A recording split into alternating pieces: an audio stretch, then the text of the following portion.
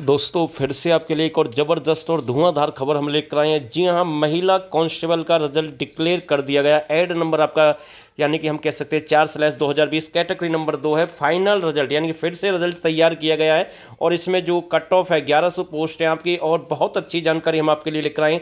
General की तीन सौ छियानवे पोस्ट है, और जो फाइनल जो कट ऑफ़ रही है जनरल की, वो हम आपको बता रहे हैं इस वीडियो के माध्यम से। तो भाई एच ने लगातार धुआंधार खबर, यानी कि हम कह सकते हैं धमाके पर धमाके कर रहा है एच एस तो छियासठ पर इसकी कट ऑफ़ गई है और जो जनरल वेटिंग है वो पैंसठ है। और यहाँ पर जो ई डब्ल्यू एस वगैरह वो भी देख लेते हैं साथ के साथ। एस सी की जो वेटिंग है उनसठ है और कट ऑफ़ साइट पर है।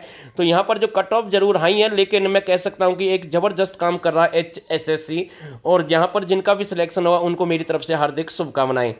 ई डब्ल्यू एस की जो पोस्ट है 110 पोस्ट है, और इसकी जो कट ऑफ़ है छियासठ पर गई है, भाई, ये भी छियासठ पर है, और यहाँ पर जो रिज़ल्ट है अभी डिक्लेयर किया गया है, और आपके साथ ये जानकारी हमने साथ के साथ शेयर कर दी है। तो दोस्तों, खबर के लिए चैनल को सब्सक्राइब करें, और अच्छी अच्छी जानकारी हम आपके लिए लेकर आते रहेंगे, और मैं फिर से कह रहा हूँ कि सीईटी की तैयारी कर ले, बाद में कोई दूसरा मौका आपके पास है नहीं। और आप सभी ने इस वीडियो को यहाँ तक देखा, आप सभी का बहुत बहुत धन्यवाद।